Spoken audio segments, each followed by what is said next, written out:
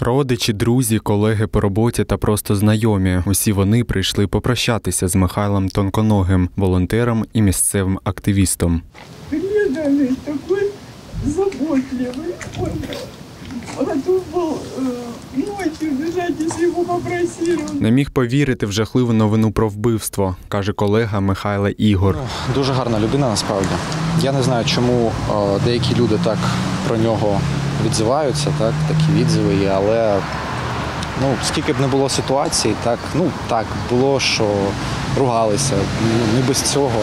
З Ігорем згодна і його дружина Ольга. Каже, Михайло для них був наче членом родини. Він завжди приходив з подарунками, з, радістю і завжди підтримував е, оптимізм і в компанії, і серед друзів, і в автоклубі. Він активно проводив час з усіма нами. За життя Михайло любив свою справу, але найбільше маму. Вона завжди була на першому місці для нього. Ділиться подруга Марина.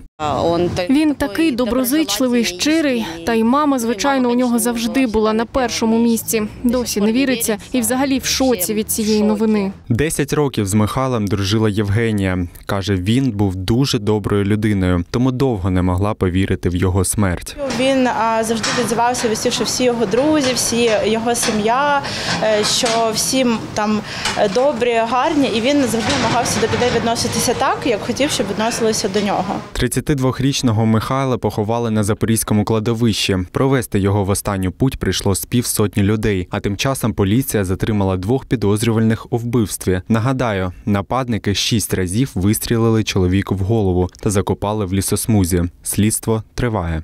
Даниїл Приходько, Руслан Герасименко, Open News, телеканал відкритий.